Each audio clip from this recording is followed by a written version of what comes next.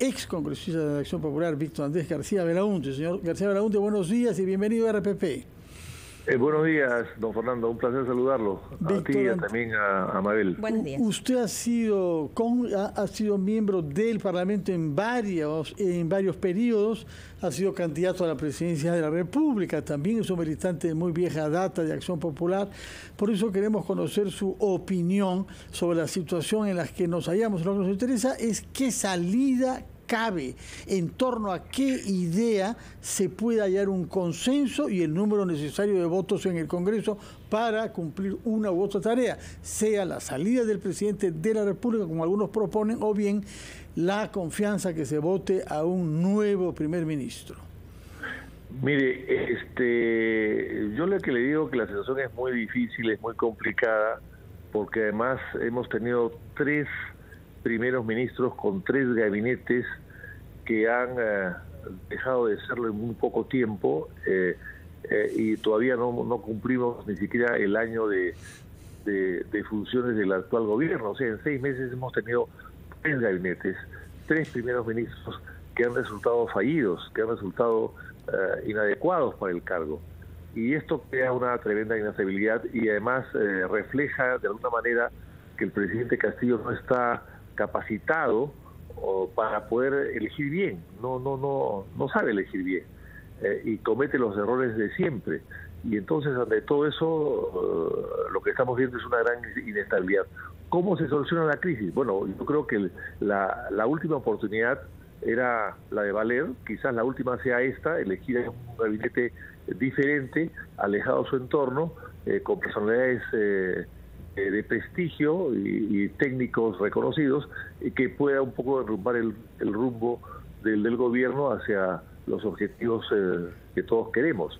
Pero eso eh, es una decisión del presidente, pero claro, a, a, primera vista no vemos que tenga mucha capacidad para elegir bien, ¿no? Por eso mismo, si eso no sucede, esto no haría más que ahondar la, la crisis política que hay. Y ya desde el fin de semana muchos están hablando de una salida, una salida eh, constitucional. Pero esta salida constitucional, ah, ¿usted cree que está argumentada bajo eh, el paraguas de la vacancia?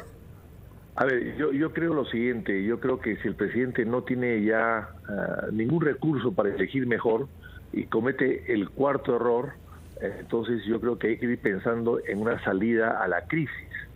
Eh, y la salida de la crisis puede ser efectivamente a través de una vacancia o a través de una renuncia, que sería lo menos traumático, y eh, o, un pacto, ¿no? Una especie de pacto de la Moncloa, es un pacto eh, de todas las fuerzas políticas para darle una salida a la crisis que a mi modo tendría que ser llamando nuevas elecciones. Pero, una renuncia. Si me permite, ¿cuáles serían los argumentos para la vacancia?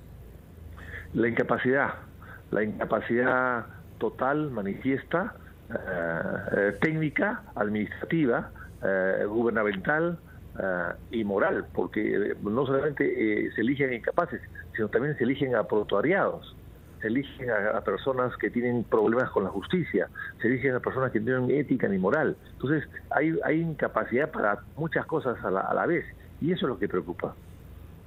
Sí, usted ha hablado de un pacto efectivamente, más allá de una persona quien ocupe la presidencia, de lo que se trata es saber hacia dónde se encamina el país y que haya un respaldo político y respaldo social. Nada nos, nos convendría menos que se mantenga la polarización y que no empujemos todos en el mismo sentido. Ese pacto debe puede ser elaborado en torno a qué lineamientos y qué papel cree usted que su partido Acción Popular podría jugar, que es un partido considerado de centro, que ha votado la confianza a los sucesivos gabinetes y que eh, en principio no era de una hostilidad frontal contra el presidente que fue elegido. ¿Cómo percibe usted los lineamientos de este pacto y qué rol cree usted que su partido debería jugar ahí? Bueno, yo creo que eh, eh, había un comunicado ya de Acción Popular respecto a declaraciones vinculadas al mar de Bolivia, que son declaraciones muy malas, ¿no? Eh, declaraciones de, de contufío de, de, entreguismo, ¿no? Y de, y de vendepatria, son declaraciones muy malas.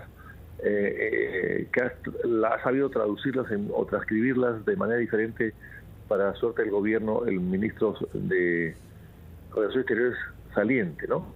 Ahora, no, yo creo que aquí lo que hay que hacer es, eh, el problema de Castillo no es Castillo solamente, es un problema de Castillo y de la ciudad de Boluarte, que tiene también eh, otro tipo de problemas y de, eh, y de conductas que no, no las indigna tampoco de asumir una presidencia. Entonces, ante ese escenario, lo mejor es llegar a acuerdos y adelantar las elecciones, a mi modo ¿no? Permítame, por favor, ir a una pausa si nos acompaña para que nos eh, explicite un poco más el rol que su partido, Acción Popular, podría jugar ante la situación y esta orientación hacia un pacto nacional, como el de la Moncloa, dijo usted, eh, al cual debe orientarse el país. Vamos a ir a una pausa, escuchar a los anunciantes de y retomamos nuestra conversación con Víctor Andrés García Belaunde. 8.17 estamos conversando con el ex congresista de Acción Polar, Víctor Andrés García Belaunde, que nos ha hablado sobre, por una parte, la necesidad de elaborar un pacto que defina una agenda para el país que no salga de la polarización extrema y por otra parte ha hablado sobre la posibilidad de adelantar las elecciones. Quisiera que nos explique primero su idea sobre el pacto y después las elecciones, qué tipo de elecciones serían, porque hay un debate ahí, si solamente deben ser presidenciales o más bien elecciones generales para mantener la unidad de los calendarios entre el Congreso y el Ejecutivo. Mire, ahí eh, eh, la crisis el año 2000 la produjo el gobierno de Fujimori y el, el propio gobierno Fujimori planteó una solución que el Congreso aceptó y aprobó. Pues yo creo que la crisis hoy día debe, eh, creada por este mismo gobierno, por su incapacidad y todos los problemas que estamos viendo, debería ser el propio gobierno que plantee una solución a la crisis y el gobierno y el Congreso tendría que aprobarlo. Y esa solución, en mi modo de ver, es adelanto de elecciones. Porque no podemos... Generales, eh, presidenciales y legislativas. Yo creo que hay elecciones generales. Generales eh, porque, claro, hay una interpretación en la Constitución en cuanto que si debe ser eh, eh, las elecciones generales o solamente presidenciales. Pues bien, esa, esa, esa duda también se puede aclarar en una disposición que puede perfectamente bien aprobar el Congreso. Pero lo que lo cierto es que este gobierno no puede quedarse gobernando a la deriva, al garete, o desgobernando durante los próximos cuatro años y medio. Eso es una cosa ya evidente, ¿Y por clarísima. Qué, y, por qué usted ha indicado que Dina Boluarte, la vicepresidenta, no estaría apta para asumir la presidencia de la República, que es lo que correspondería según la Constitución? Bueno, primero por, por su origen, ¿no? Ella nunca debió ser eh, aceptada como candidata a la vicepresidencia siendo parte de un organismo electoral y eh, es parte de los dinámicos del norte además y finalmente ella es parte del gobierno, ha sido eh, ministra de los tres gabinetes, en vez de guardarse como vicepresidenta y quedarse afuera espectadora como había cualquier otro vicepresidente en el pasado, muchos. No, no, no, no. En Acción Popular, eh, no, no, tenemos el caso, en fin, no, eh, no me haga que recuerde muchos casos de vicepresidentes, algunos compañeros dirigentes de su partido ahora, que han sido vicepresidentes y ministros. Usted sabe bien a quién me refiero. Bueno, pero en el caso de los, eh, de los presidentes de eh, vicepresidentes de Acción Popular, los primeros vicepresidentes de Acción Popular se fueron primero Ciudadana de embajador a México y el segundo Chuale de embajador a Washington, se fueron de embajadores. En algún momento pueden haber sido ministros, pero por periodos muy cortos, pero en general estuvieron afuera. Esta señora estaba adentro en los tres gabinetes eh, eh, fallidos, en los tres. Ha sido parte de todo esto. Por lo tanto, está involucrada en los problemas creados por el propio gobierno. Ese es el problema, a eso me refiero yo. De acuerdo. Entonces su idea es que la Constitución obligaría a que hayan elecciones generales, buscar una ley como la del año 2000 para recortar el mandato tanto del presidente como del Congreso y que hayan elecciones generales. Así es, yo creo que esa es la solución completa a la crisis. Claro, también se podría pensar en que el Congreso se queda, pero yo creo que la ciudadanía al final va a pedir que todos se vayan. Bueno, lo que ha declarado María del Carmen Alba, la presidenta del Congreso de la República, es que aparentemente ya convocaría elecciones solo para el gobierno. Y yo quería preguntarle por la performance de la presidenta eh, del Congreso, una, una, una actor político, una actriz política en este caso, que está en relevancia en estos momentos debido a la incertidumbre que hay. ¿Usted cómo calificaría su performance? Muy buena. Yo creo que ha hecho lo que tenía que hacer. Se ha mantenido con mucha altura, mucha eh, economidad, eh, mucho, mucha solvencia. Creo que ha actuado bien. Actuado bien. Es un cargo muy complicado, muy difícil. Ser presidente, además de un Congreso donde su propio partido no tiene mayoría, eh, requiere de un gran equilibrio. Así que yo creo que su, el manejo de su o el desempeño de su gestión ha sido impecable. Sin embargo, hay quienes dirían, y muchos analistas también encuentran que en el Congreso pues hay una falta de, coordinación precisamente o de articulación para poder hacer frente a esta situación ¿no? en, la que estamos sumergidos. Casualmente por eso es que la labor de María Carmen Alba es mucho más meritoria, porque es un Congreso donde hay 130 personas y 9 o 10 bancadas y 12 o 14 partidos y coordinar y manejar una asamblea de esa naturaleza es sumamente complicado, requiere de un gran equilibrio y una gran eh, ponderación. Y en este caso creo que Maricarmen lo está haciendo perfectamente bien. Víctor Andrés García Belaunte, ¿qué contesta usted a los críticos de su partido que dicen con qué autoridad creen ustedes poder reformar el país cuando la institucionalidad de su propio partido se halla en un estado lamentable? Como usted sabe, hay un secretario general que ha sido cuestionado, hay dudas sobre la legitimidad de las elecciones y hay procesos judiciales elaborados por viejos militantes de Acción Popular contra los que han salido elegidos a los que le reprochan haber comprado votos. Esa es la situación de su partido, prescindiendo de que el presidente Mesías Guevara tiene un plazo vencido hace tres años. Entonces, hay un problema de institucionalidad sumamente grave. ¿Cómo es posible que no lo hayan podido resolver ustedes en los años que este problema continúa y, sin embargo, que quieran hacernos creer de que pueden ustedes gobernar el país con institucionalidad y transparencia? Bueno, yo no he dicho que queremos gobernar el país, yo he dicho que queremos ayudar a la gobernabilidad, que es diferente, ¿no es cierto?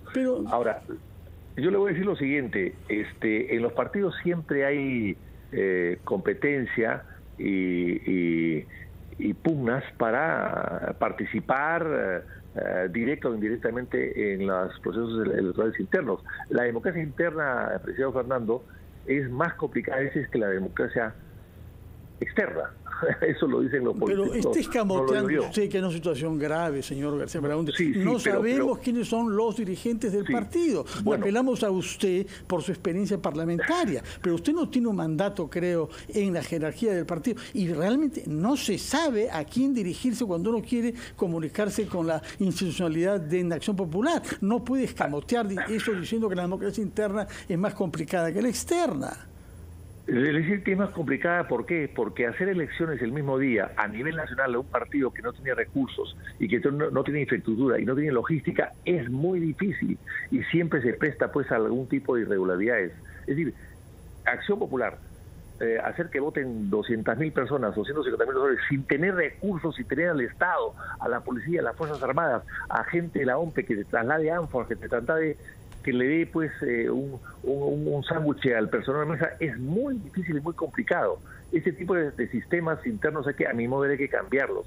Hay que hacer un poco lo que se hacía antes, elecciones por departamentos, uno detrás de otro, y así completar a toda la dirigencia nacional. Pero, en fin, es un tema pasado. Lo que sí le puedo decir es lo siguiente, que si hay dudas y hay reclamos, deben, deben ser resueltos por el Jurado Nacional de Elecciones y no resuelve.